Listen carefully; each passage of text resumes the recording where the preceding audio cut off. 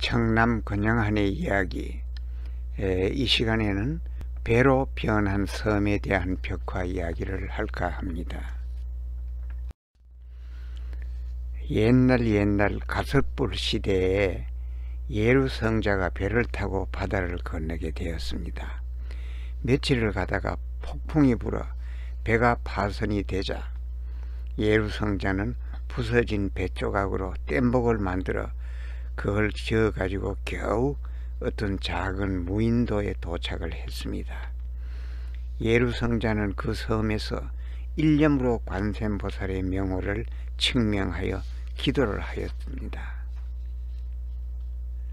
그랬더니 그 측명 소리를 듣고 있던 섬 지키는 용이 예루 성자의 깊은 심심에 감동되어 섬을 별, 배로 변하게 하여 예루 성자를 태우고 험한 바다를 무사히 건너가게 하였다 합니다.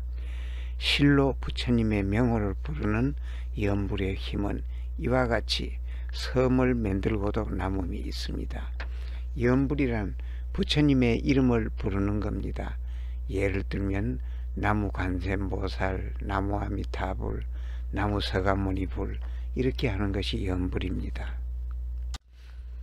예, 가섭불은 인간의 수명이 2만 세 때 이 세상에 나타나서 정각을 이룬 석가모니 부처님 이전의 부처님이며 부처님이며 과거 실불의 한 분입니다. 예루 성자란 말은 예루는 예루향, 예루과 아, 그, 그런 것을 가리키는 말인데 이는 모두 소승불교에서 수도하여 깨달음을 얻어가는 성불해 나가는 그 단계의 풍계 중의 하나를 말합니다. 그러므로 예루 성자란 예루의 풍계를 얻은 성자라는 뜻입니다.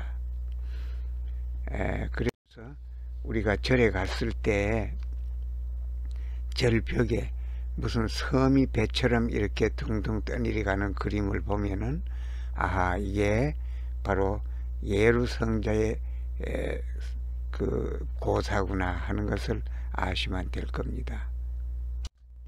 에, 오늘 또 경청해 주셔서 감사합니다. 에, 내가 젊을 때는 이런 말도 참 잘하고 발음도 똑똑히 했는데 나이가 90이 넘으니까 좀 말도 흐리고 좀 어둔해졌습니다. 그러나 뜻은 전할 수 있었다고 생각하니 듣는 분이 양해해 주시기 바랍니다. 경청해 주셔서 감사합니다.